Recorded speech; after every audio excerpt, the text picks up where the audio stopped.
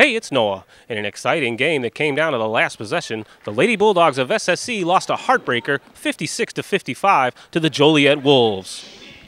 SSC had a chance to win it with 4 seconds left, but Tyler Henderson missed a layup. The crowd wanted a foul, but coach Scott told me after the game it was a good no call by the referees. The Lady Bulldogs will be more upset that they gave away a 6-point lead with 4:13 to play.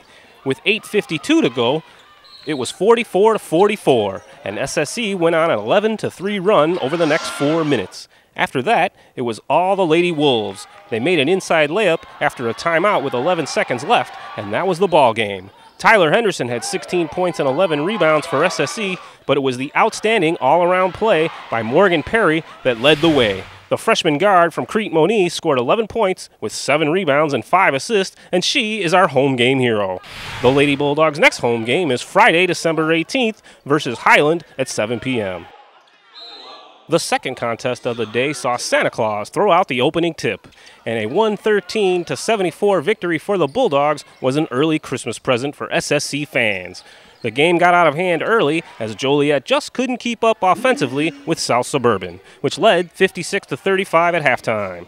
Here are the numbers. SSC shot 55% for the game, holding the Wolves to just 39% shooting.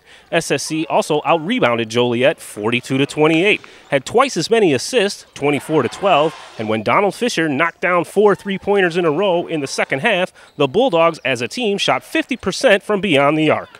Incredible. The next home game for SSC is January 9th versus the Carl Sandburg Chargers.